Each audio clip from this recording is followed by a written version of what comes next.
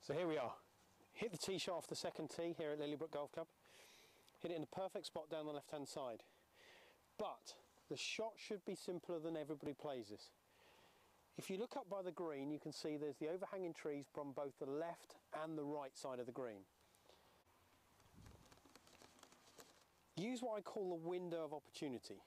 And if you think of anything that encroaches in your play, you have to play slightly away from, giving yourself two to three yards leeway. So the trees overhanging the green on the left, two to three yards in on that. The green trees on the right, two to three yards in on that. Your actual hitting zone is about five to six yards wide.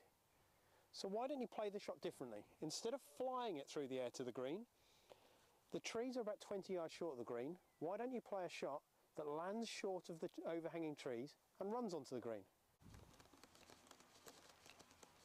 So as you can see here, big overhanging tree on the right, big overhanging tree on the left, but underneath the trees, big area to land the ball. So you don't need to go up. So we're looking at landing the ball round here, and as you can see, now it goes under the tree line onto the green.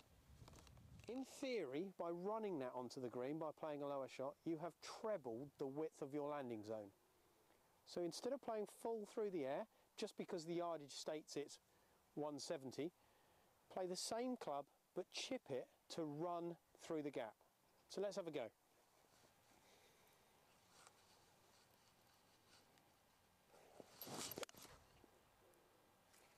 So you can see, all I've done is just push it forwards towards the hole. I've used a, lofted club, but I've only chipped it, which keeps it low, and that ball has actually just run on to about pin high.